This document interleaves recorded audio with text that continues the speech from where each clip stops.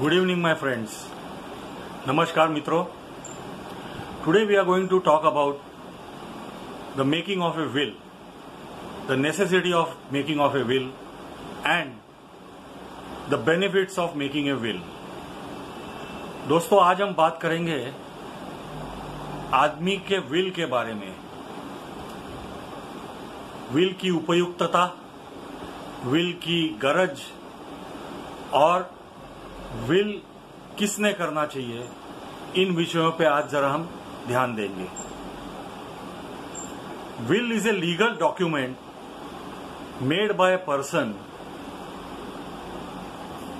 expressing his desire as to what he wants to do with his property post his death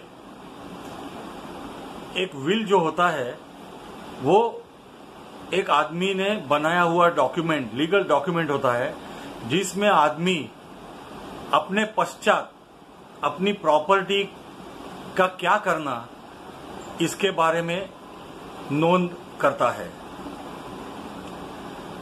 Will is govern by the Indian Succession Act 1925 and section two H governs the making of a will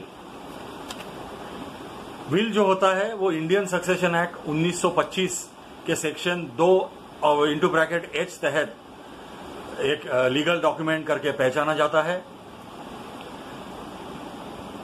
Bharat में Hindu, Buddhist, Sikh और जैन लोग जो will बनाते हैं, वो Indian Succession act तहत पहचाना जाता है।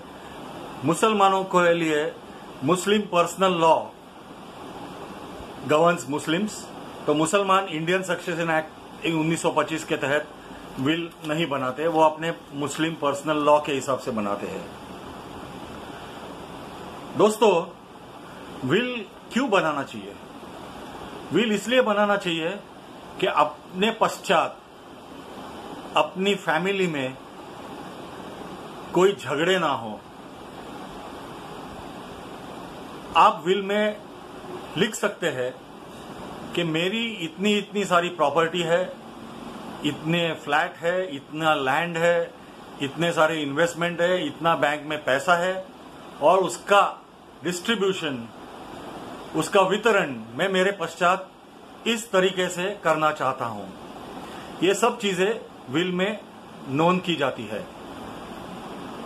विल बनाते वक्त दो विटनेस रहना बहुत ज़रूरी है। जो आपके रिलेशन में या तो आप जिन्हें प्रॉपर्टी में बेनिफिशियरी बनाना चाहते हैं, उनके अलावा दो लोग होने मांगते हैं। विल रजिस्टर कर सकते हो आप चाहते हो तो हालाँकि it is not mandatory that you should register your will but in case you want you can definitely register a will by paying the registration fee it's a nominal fee of rupees hundred but unregistered will जो होता है that also is a valid will if it is attested by two witnesses in a proper way and if it is made in a proper fashion. A man can write a will by his own handwriting also. ज़रूरत नहीं कि आप computerise typing करके he will बनाना चाहिए आप अपने अपने हाथ से भी आप विल बना सकते हो आपने एक बार विल बनाया और कुछ महीनों बाद या कुछ सालों बाद आपको अगर विल चेंज करना है तो आप पहला विल कैंसिल करके दूसरा विल भी नमूद कर सकते हो, दूसरा विल भी बना सकते हो। अभी हम देखते हैं विल के फ़ायदे क्या होते हैं विल बनाने के। तो सबसे बड़ा फ़ायदा दोस्तों ये होता है कि आपने बनाया हुआ है कि आप अपने पश्चात अपनी, आपकी प्रॉपर्टी का कैसे विनियोग करना चाहते हो तो इससे फैमिली के बीच में भाई भाइयों में, भाई बहनों में, दो बहनों में, या तो अपनी पत्नी और लड़कों में, या लड़कियों में डिस्प्यूट नहीं रहता। क्योंकि आप क्लियर शब्दों में लिखते हो कि आपके प्रॉपर्टी का आपको कैसे विनियोग करना है, किसके लिए कैसे डिस्ट्रीब्यूशन करना है। दूसरी चीज़, आप जब विल बनाते हो तो उसके अंदर आप अपने सारे एसेट्स के बारे में उल्लेख करते हो। तो उससे ये फ़ायदा होता है कि कोई एसेट छूट नहीं जाता और ऐसी नौबत नहीं आती कि आपके फैमिली को, आपके कुछ एसेट्स के बारे में जानकारी नहीं है और उनका बाद में नुकसान हुए। जैसे मैंने पहले बताया विल में क्लियरली लिखा रहता है क्लियर डिस्ट्रीब्यूशन कैसे होना है, वो लिखा रहता है। और आप जो एग्जीक्यूटर को अपॉइंट करते हो कि ये विल मेरा, मेरे पश्चात ऐसे ऐसे ये आदमी एग्जीक्यूट करेगा तो वो एग्जीक्यूटर उसी तरीके से अपना दिया हुआ पावर इस्तेमाल करके सबको वो विल बराबर से डिस्ट्रीब्यूट करता है। और और एक बात, आपको अगर कुछ पैसा चैरिटी में देना हो, और आपकी फैमिली आपको विरोध करती है कि काय को देने का, आपका पैसा है तो आप जब विल बनाते हो तो उसमें आप ये भी नमूद कर सकते हो कि इतना पैसा मैं ये और एनजीओ को या तो ये ऑर्गेनाइजेशन को चैरिटी में देना चाहता हूँ।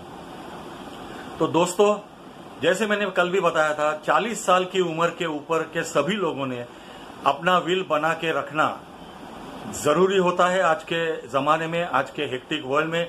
It is imperative that a person above 40 prepares his will this is all about a will in the presentation following my talk I have given you the details of how to make a will.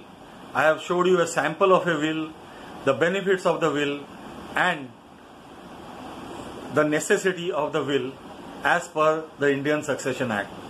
So do go through the presentation also. Thank you very much.